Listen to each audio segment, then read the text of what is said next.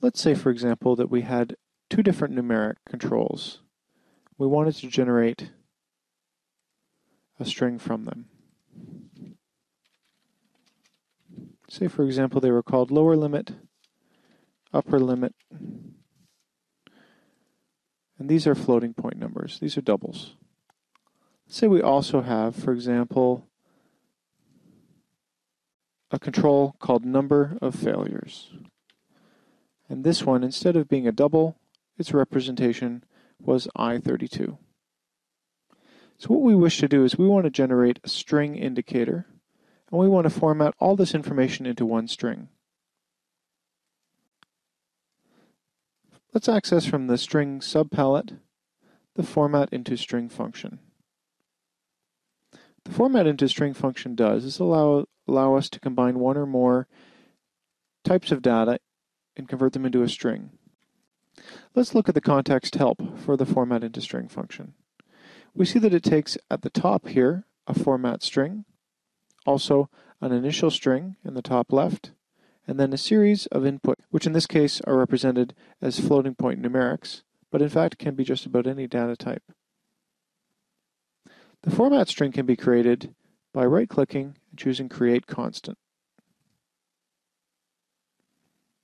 The way that we use the format into string function is to take the desired numerics or other data types and wire them into this bottom left input. The format into string function is expandable, so we can add as many inputs as we like. For this example, let's start with just a single input. The format string is used to tell the function how to treat this data. There's a series of codes which are used to describe how to format the data. One example of this is the percent %f code, which uses the default formatting to display a fractional number. Remember that the point of this function is to take a numeric or other type of data and format it into a string. So of course the important output here is the resulting string. Let's connect that up to the string indicator we've created. Go back to the front panel and change our lower limit to be some number. Next, when we run the VI, we see that we do indeed have the number that we've connected up being displayed in the resulting string. What makes this particular function very powerful is the level of customization that you can achieve by using and modifying this format string. For example,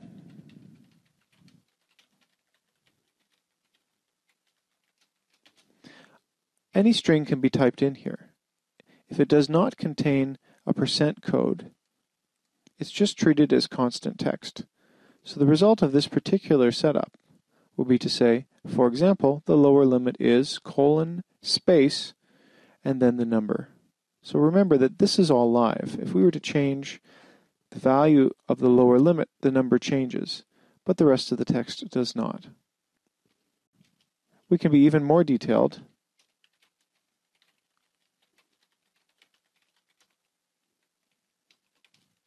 and use a second string as well as a second format specifier.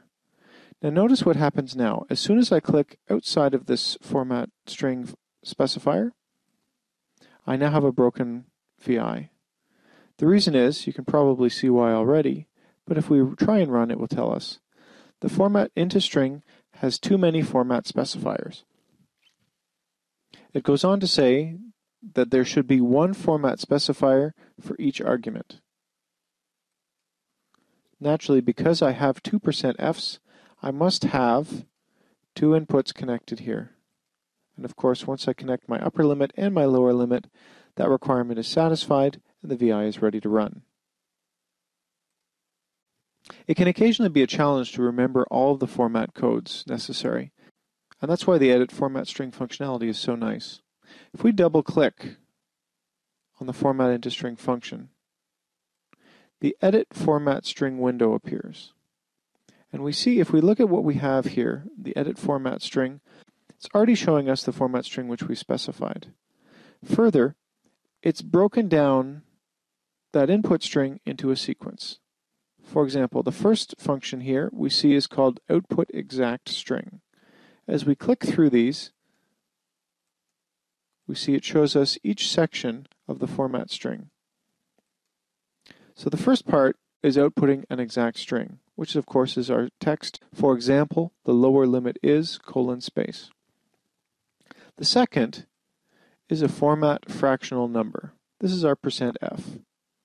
Because we've just chosen the basic default settings percent %f, it's defaulted to right justify and pad using spaces. The minimum field width is not turned on and the specified precision is not turned on. This is where we can very easily modify this format specifier without having to memorize all the special codes.